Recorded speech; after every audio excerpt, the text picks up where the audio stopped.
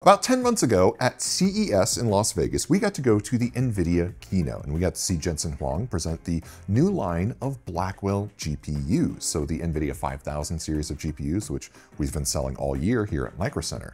But today I got my hands on something special. NVIDIA sent me over one of their AI supercomputers.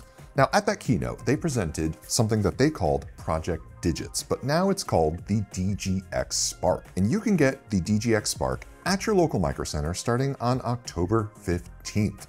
So come on by to get your hands on this awesome AI computer. But I have one here, and we're gonna open it up, and we're gonna take a look. All right, so we got our DGX Spark logo over here, and this guy just kind of slides right out like that. All right, first and foremost, this is this is a lot smaller than I was anticipating. I know that, whoa, that's real small.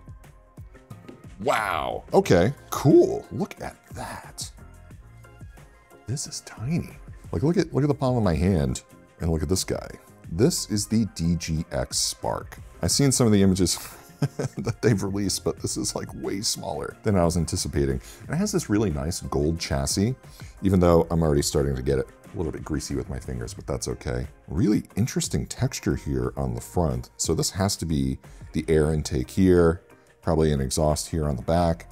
And then on the back, you can see all of your I.O. So you have four USB ports here, USB-C, HDMI 2.1, then you have your RJ45 over here. So this is gonna be your 10 gigabit ethernet. But then over here is your Connect X7 Smart NIC. And this is what you're gonna use to connect two of these together.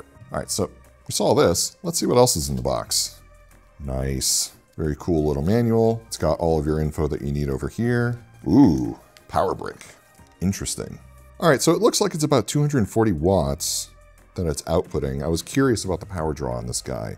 So going off of the power brick, 240 watts. We have that uh, Max-Q version of the RTX Pro 6000 here at Micro Center, and that runs off of 300 watts. That's everything you need to get started. Obviously, you have to hook it up to a keyboard, mouse, and a monitor to get this working, and I cannot fire this up today. You're gonna have to check out our follow-up videos on this guy after the launch to see how she runs. Now we will be at the Micro Center Santa Clara location and we'll be meeting up with some people from NVIDIA who are gonna walk us through some tech demos on the DGX Spark, so stay tuned. That's gonna be a really cool video series. Under the hood, you have an ARM CPU. This is a 20 core ARM CPU, 10 Cortex X925, and that's paired with a 10 Cortex A725. ARM CPUs, that's really interesting. It's also paired with the GB10 what they're calling the super chip. Now this Grace Blackwell chip, well, this is really what's doing a lot of the heavy lifting for your AI workloads. Fifth generation tensor cores, and that is going to be really impressive tech, especially when you want to get into NVFP4, which we'll talk about in a different video. Now for storage, you have four terabytes of NVMe storage with this device, which is enough to fit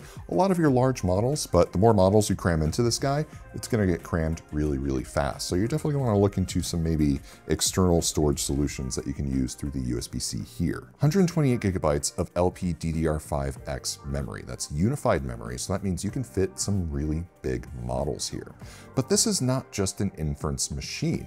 Yes, you can do inference up to 200 billion parameters. You can also do quantization up to 70 billion parameters. And quantizing your models, well, that's something that this is specifically designed for. This is not just an inference machine like you've seen with a lot of the other kind of small form factor AI computers. This is really meant for developers who want to train or fine tune their own models, but you can do that with a really small local footprint.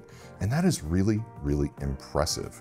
Now we will have a slew of follow-up videos to walk you through all of the different processes that you need to fine tune and train your own models using the DGX Spark, which I think is actually going to be very, very interesting. And this is going to be a very big leap for local AI because now with a small device like this, you can start training your own local models. And that is just truly impressive.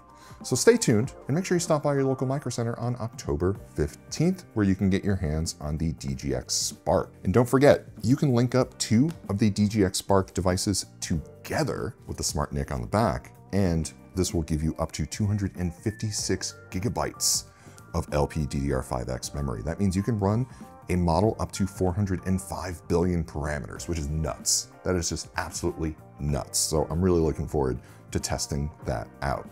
Stay tuned and make sure you stop by your local Micro Center. And if you don't have a Micro Center near you, then be sure to comment hashtag I want a Micro Center near me.